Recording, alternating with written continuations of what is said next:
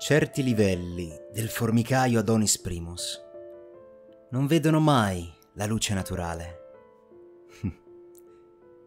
Alcuni abitanti a malapena sanno cosa sia.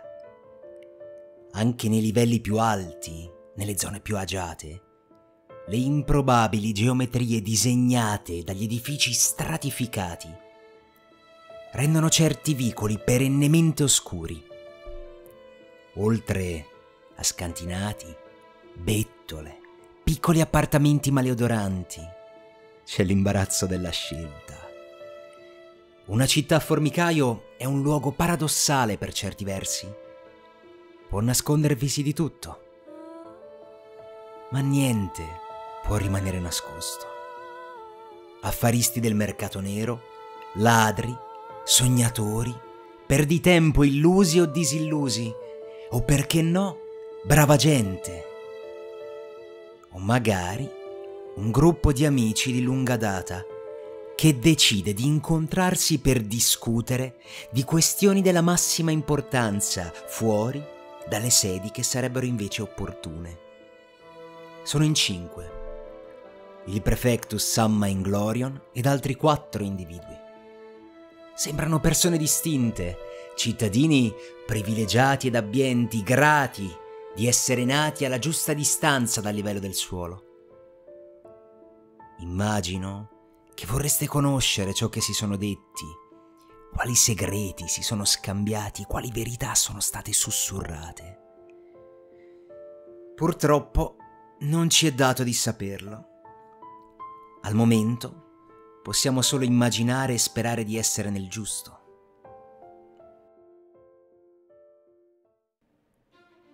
Sono trascorsi cinque giorni dalla notte dell'incontro. Niente che possa essere degno di nota è accaduto nel frattempo e Samma si accinge ad aprire la porta del suo studio.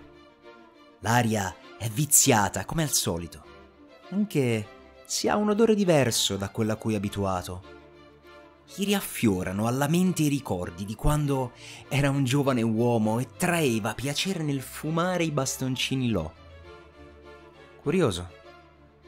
Solleva il capo e scruta la pila di carte sulla scrivania che l'attendente deve avergli recapitato qualche ora prima. La suola tassellata di un elegante stivale in pelle nero si offre alla sua vista la mano di Samma scatta verso la fondina, afferra il calcio della pistola, il braccio si tende, la sicura viene rimossa. Il collimatore in mezzo alle tacche del mirino si allinea con il volto dell'uomo che osa sedere con cotanta arroganza sulla sua poltrona. La faccia però è nascosta da una densa nuvoletta di fumo, mentre la mano dello sconosciuto allontana dalla sua bocca il bastoncino Lo. Dietro di lui un altro uomo con un pesante cappotto di pelle marrone, lungo fino ai piedi, pone mano alla fondina di rimando. Ma l'ostilità di Samma non incontra una pari aggressività. Si limita a rimanere vigile mentre scruta con attenzione il dipanarsi della situazione. Prefectus Samma Inglorion, è questa l'accoglienza che è riservata ad una vecchia conoscenza. L'uomo seduto si alza, togliendo lo stivale dalla scrivania.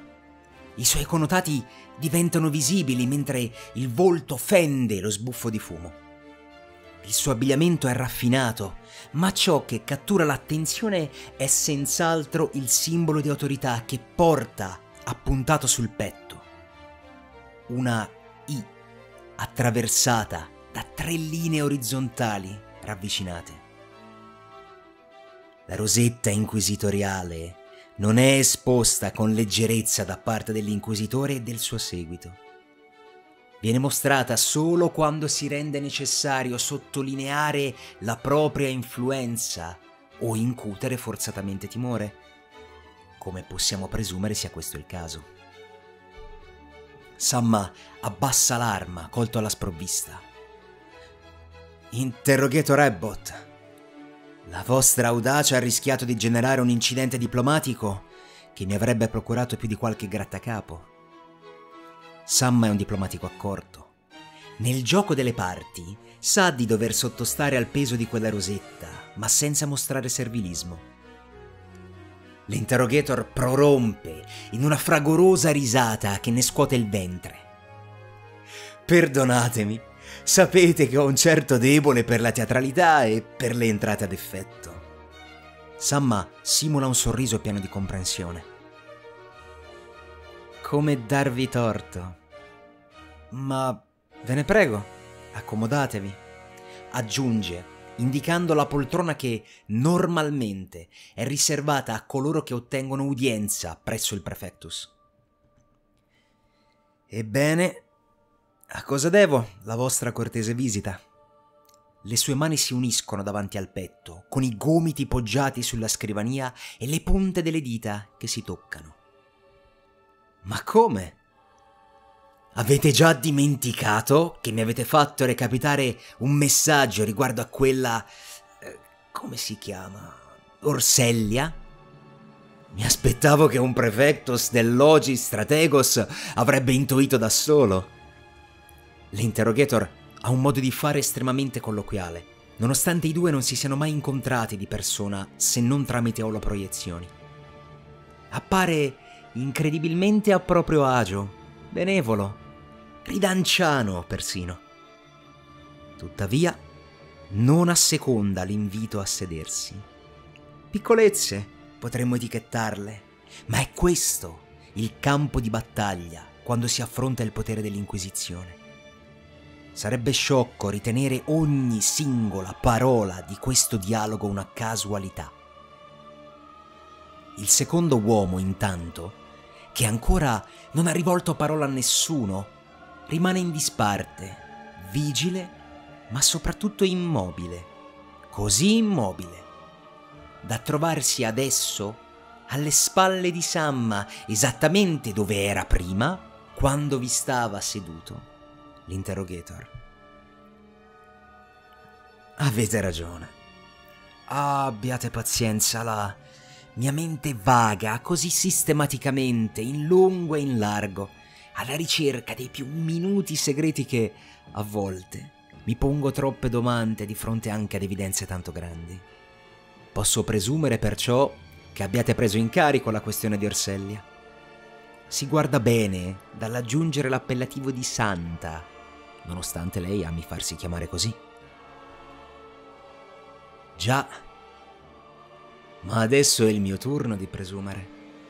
E presumo che voi sappiate già cosa è successo. L'interrogator Abbott appare chiaramente divertito da quello scambio. Ovviamente, ma del resto ad ogni uomo il suo vizio. A voi, interrogator, la teatralità. A me il buon tono ed il rispetto dell'etichetta. Orsellia è stata catturata, interrogata e trovata colpevole. Il suo cadavere giace arso su di un rogo nel settore Beta 12 da oltre 30 ore. Un monito per tutti coloro che non sanno distinguere le ombre della corruzione dalla luce salvifica del Dio imperatore. Abbott sta per sputare per terra, ma si trattiene. Un vero scempio in Glorion. Quando abbiamo messo piede nei suoi alloggi abbiamo trovato tracce dei poteri perniciosi praticamente ovunque. È incredibile come la folla sia disposta a bersi qualunque cosa, pur di non accettare con dignità il destino che l'imperatore ha previsto per loro. Ah, sono tempi bui. Il male si annida fuori dalle nostre mura tanto quanto al loro interno. Non si può mai essere sicuri che il proprio migliore amico sia davvero chi dice di essere. Samma deglutisce nervosamente. Sente lo sguardo fisso del secondo uomo su di sé. Anche se si è innocenti, vi è sempre da temere di fronte all'Inquisizione. Tuttavia, all'esterno, è una maschera di freddezza e rimane impassibile in silenzio. Homo homini lupus. L'ho letto da qualche parte, tanto tempo fa. Non chiedetemi dove, non saprei rispondervi. E scoppia nuovamente in una fragorosa risata. Poi si ricompone improvvisamente, assumendo un tono formale che risulta quasi fuori luogo cucito addosso a lui. Così come l'errore merita la riprensione e la punizione, la diligenza merita l'elogio e l'encomio. L'inquisitore Gaius desidera espressamente che vi riporti la sua gratitudine. E credetemi, Inglorion, non è certo un riconoscimento da poco. Il mio dovere verso l'Imperium e l'Imperatore si concluderà solo con la mia morte, sperando che anche in essa vi sarà da trarne un'utilità. L'interrogator lo osserva, rimanendo serio ancora per qualche attimo. Lo sguardo fisso su Samma sembra approvare la devozione mostrata. Phineas, lasciaci soli, di grazia. Dobbiamo discutere di una questione privata. Per la prima volta, l'uomo, che fino a quel momento non aveva avuto un nome, si anima.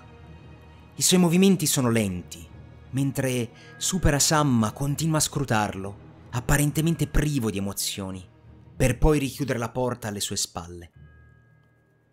Il prefectus, se potesse permettersi il lusso di mostrarsi apertamente, sarebbe sia teso che eccitato. Del resto, è una deformazione professionale, i segreti sono il suo pane quotidiano. Non credo mi trovi molto simpatico. Samma abbozza un sorriso. L'interrogator Abbott si riscuote dal clima gelido che aveva pervaso la stanza dopo l'uscita di scena dell'accolito. Chi? Phineas? Ah, lasciatelo perdere. È uno sciocco ancora. Ma è uno sciocco zelante. Raramente ho conosciuto persone capaci di follie come le sue. Dannazione, quel giovanotto è più duro di un pelle verde.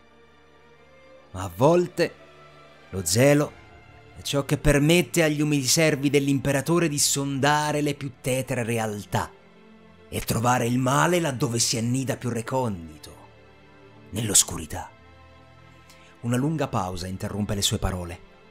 Lo sguardo è fisso su Samma.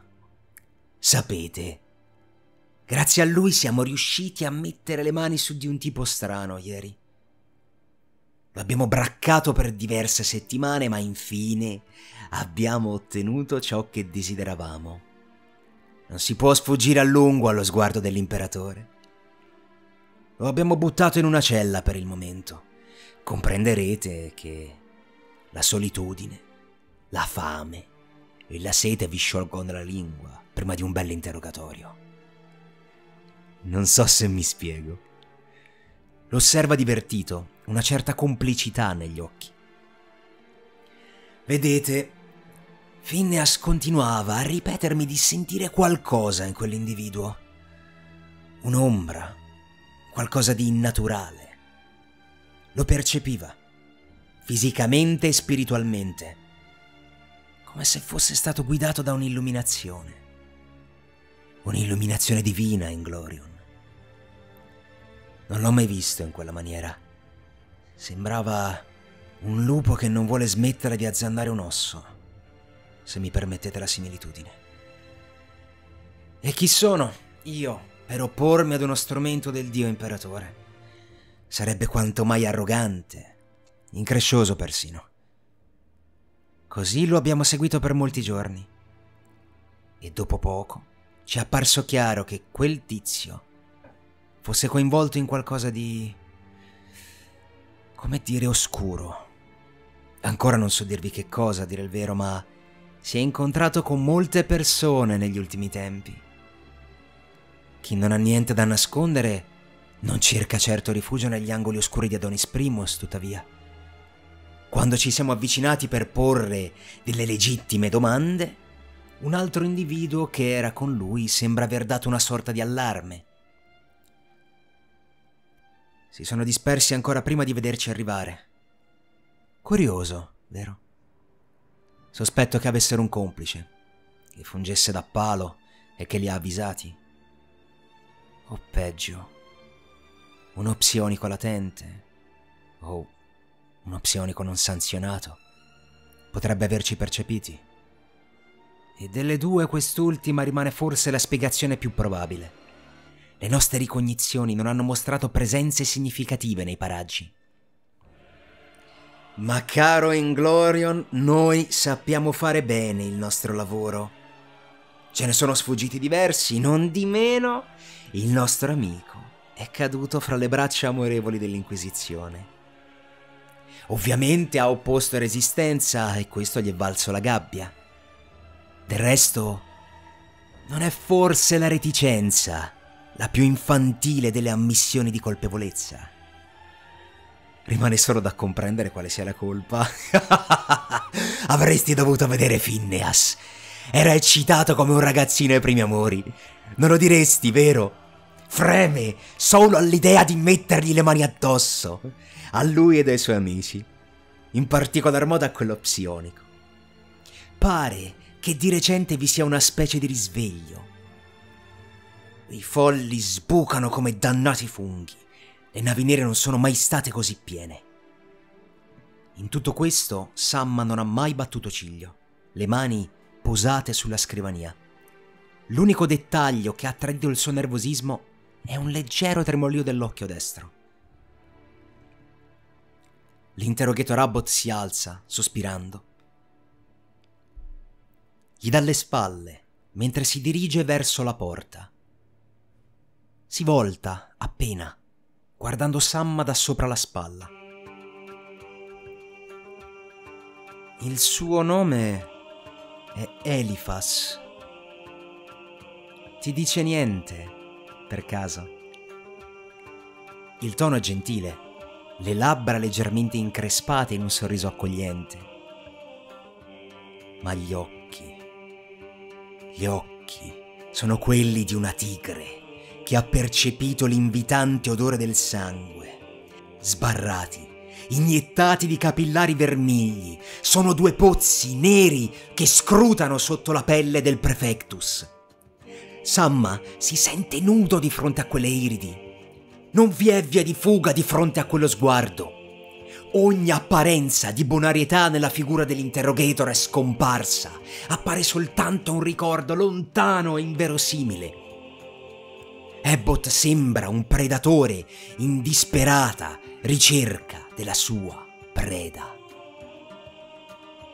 Egli sa. Non può non sapere che Elifas è uno di coloro con i quali giusto qualche giorno prima anche lui si è incontrato. Forse sta solo cercando di mettergli paura.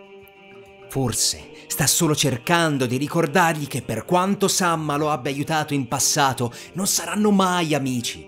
Non saranno mai sullo stesso livello, che anche lui, come tutti, deve sempre temere l'occhio vigile della Santa Inquisizione. No, non può essere. Quel tono di voce, quello sguardo. Sembra che la faccia dell'interrogator sia divisa in due dal naso in giù il volto di un conoscente di vecchia data, pacato e benevolente. La parte superiore sembra appartenere ad un'altra persona. Appare quella di un sadico che ha trovato un nuovo giocattolo con cui divertirsi. Sì, interrogator. Credo di aver capito a chi vi riferiate. Ci conosciamo da molti anni. Un, un uomo per bene. O almeno lo ritenevo fino a qualche istante fa. La gola è secca mentre risponde. Deglutisce a vuoto. Non riesce a staccare gli occhi dai suoi, magnetici. Abbott china il capo, sorridendo. Una saggia risposta, prefetto Singlorion. Solo uno sciocco avrebbe potuto mentire nella speranza che qualcosa potesse rimanere nascosto a lungo in questo posto. Tuttavia, mi sorge una domanda adesso. Che persona siete voi? Siete il tipo di sprovveduto che non sa con chi si accompagna? O il tipo di sprovveduto che non sa che accompagnarsi con certa gente è pericoloso. La situazione sta sfuggendo dalle mani del prefectus. I pensieri turbinano vorticosamente nella sua testa, rimbalzano in maniera frenetica, come se cercassero di fuggire dalla prigione della sua scatola cranica. Interrogator, io vi giuro non ho niente a che fare con tutto questo. In nome di tutti i miei anni di fedele servizio, perché dovrei... Non finisce la frase. La tensione si scioglie in una risata di Abbott. O forse no.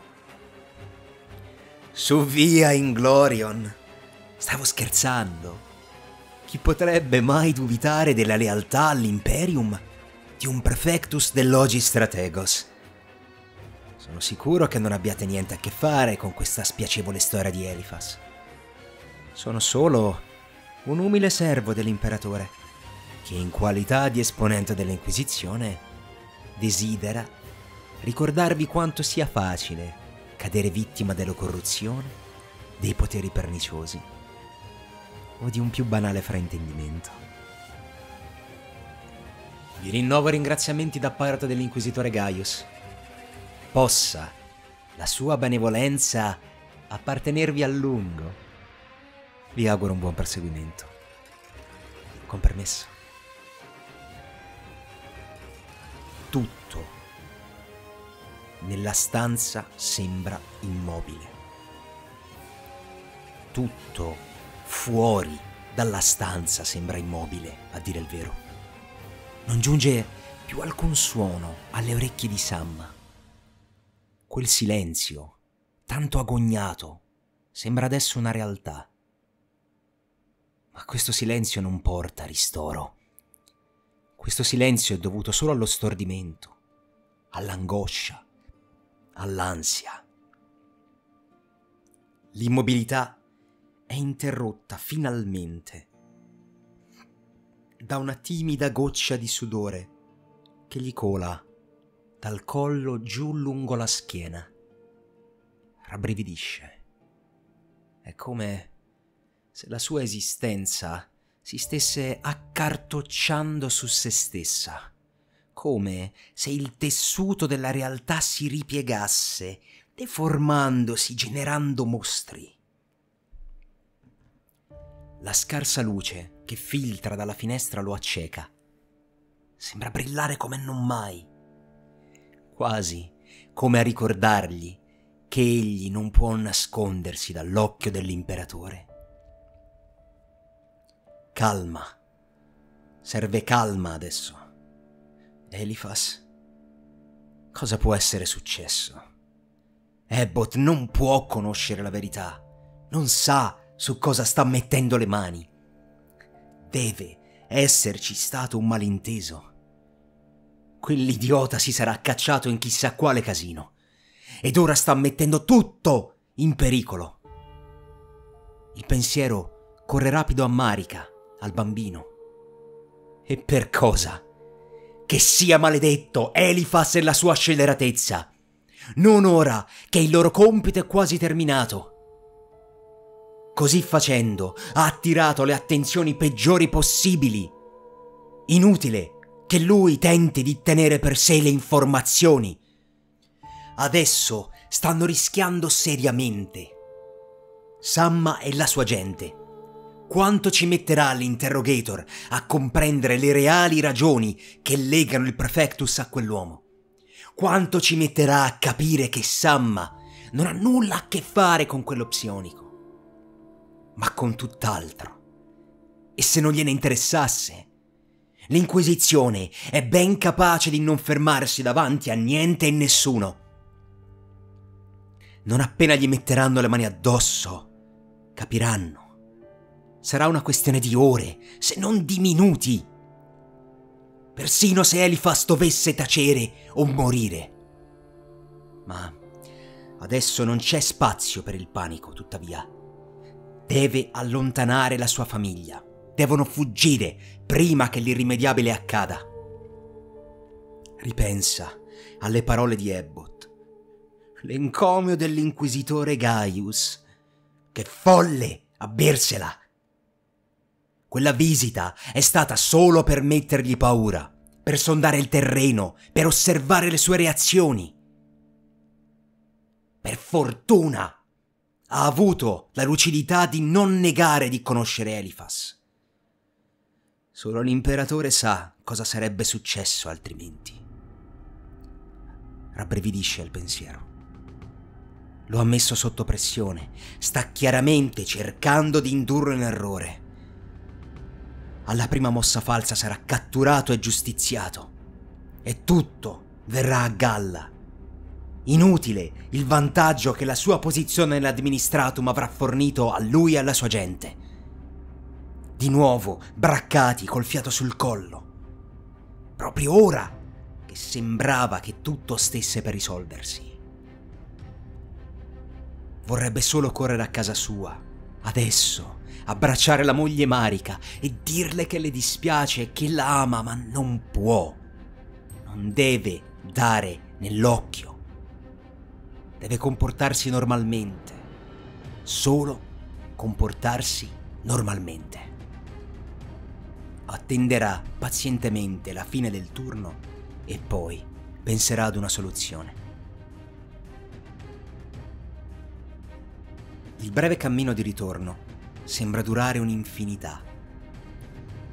Le gargolle dell'edificio dell'administratum sembrano fissarlo quando esce dalla struttura. Lo accusano con lo sguardo. Colpevole! Sciocco! Insulso! Il suo volto è una maschera di tensione. Davanti a sé, proiettato su ogni superficie, sulla quale posa lo sguardo, continua a vedere gli occhi sadici di Ebbot. Lo tormentano. Quando varca la soglia della sua abitazione, delle urla concitate lo attendono. La levatrice Cassandra gli corre incontro, trafelata, sporca di sangue. Prefectus, vostra moglie sta partorendo! Per qualche minuto comprenderete i pensieri di Samma si distolgono dal pericolo dell'Inquisizione. Quando irrompe nella stanza un sussulto. La scena sembra quella di un crimine.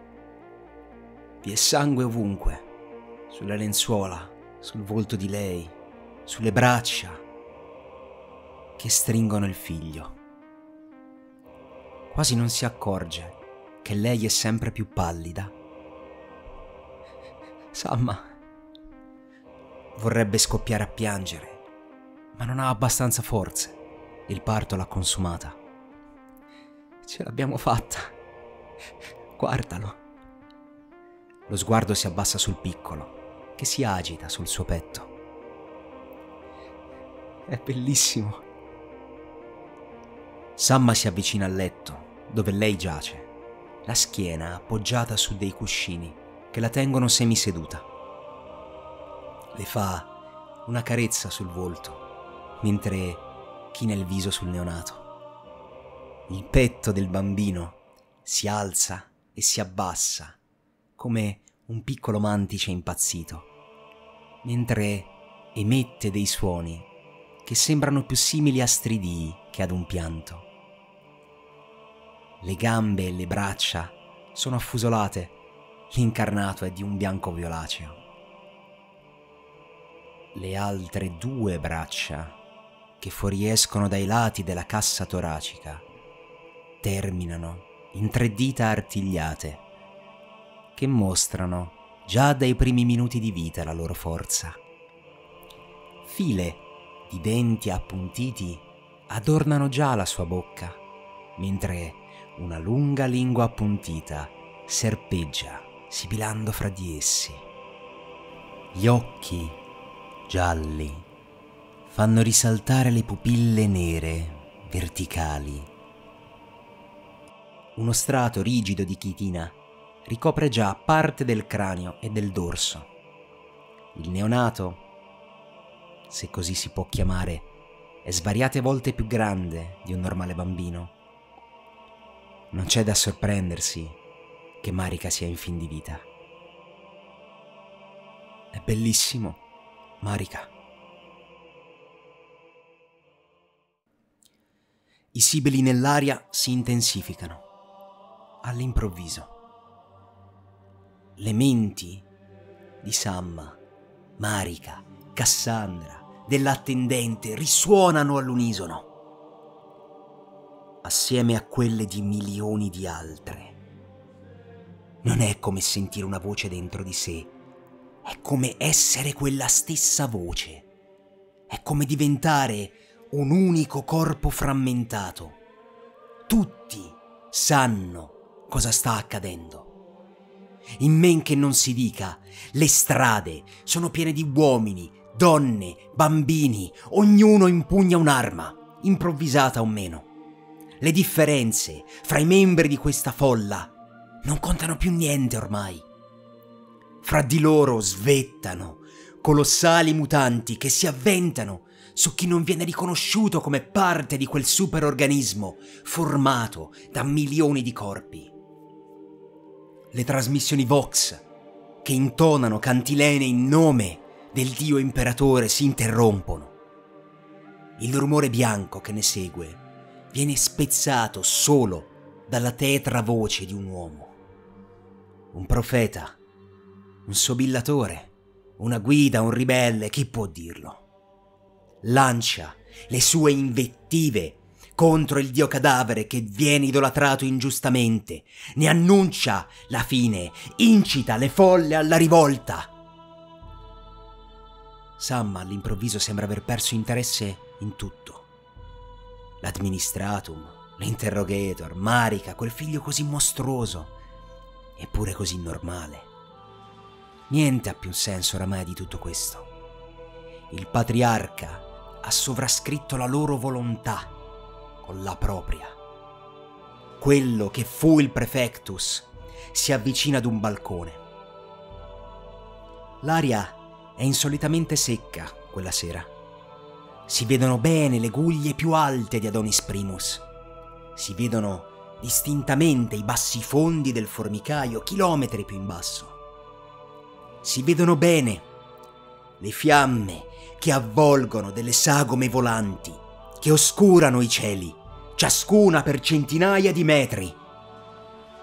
Bocche colossali irte di zanne, tentacoli che sferzano l'aria in quota rarefatta, speroni e probosci di cave che si gettano in picchiata verso il suolo, tutto questo ricopre i loro scafi viventi. Una pioggia di quelle che ad un primo sguardo sembrerebbero meteore, solca la volta celeste, come muovendosi a rallentatore. L'ingresso nell'atmosfera le fa incendiare e brillare in maniera sinistra a migliaia e migliaia, impossibili da contare.